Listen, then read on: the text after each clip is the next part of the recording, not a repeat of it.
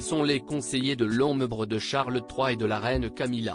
Relativement populaire, le couple de souverains bénéficie des aiguillages avisés de leurs bras droits respectifs pour éviter le moindre faux pas depuis qu'ils sont montés sur le trône.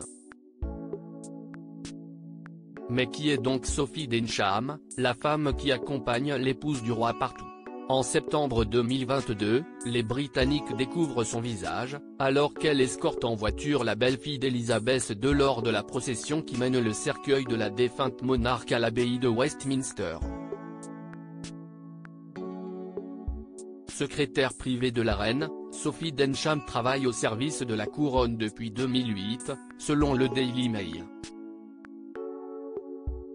Le tabloïd indique que son rôle auprès de la souveraine de 76 ans est très important car elle fait partie du cercle restreint de personnes de confiance qui l'entourent au quotidien.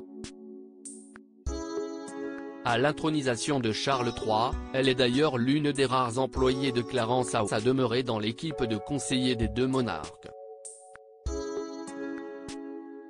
Et cela devrait continuer. Il faut dire que cela déjà plus de dix ans que Sophie Dencham et Paul Camilla dans la firme. Supérieur à supérieur à Camilla Parker Bowles, retour sur l'évolution physique de la reine L'énorme différence de traitement entre Sophie Dencham et le secrétaire privé de Charles III avant cela, la conseillère officielle en qualité de secrétaire au Memorial Gates Trust, une organisation caritative visant à perpétuer le souvenir des personnes originaires du sous-continent indien, d'Afrique et des Caraïbes qui ont servi au cours des deux guerres mondiales.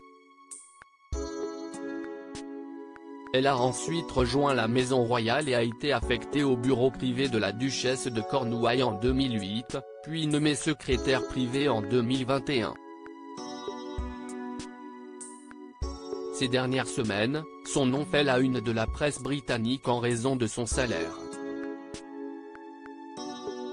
En juillet 2023, The Times a révélé l'immense écart de rémunération entre le secrétaire particulier de Charles III, Sir Clive Alderton, et Sophie Densham. Chargée d'organiser les différents rendez-vous et événements auxquels participe la reine Camilla, cette dernière possède autant de missions que son confrère. Seulement, elle percevrait entre 90 000 et 95 000 livres sterling par an, tandis que Clive Alderton, lui, toucherait entre 205 000 et 210 000 livres sterling tous les ans.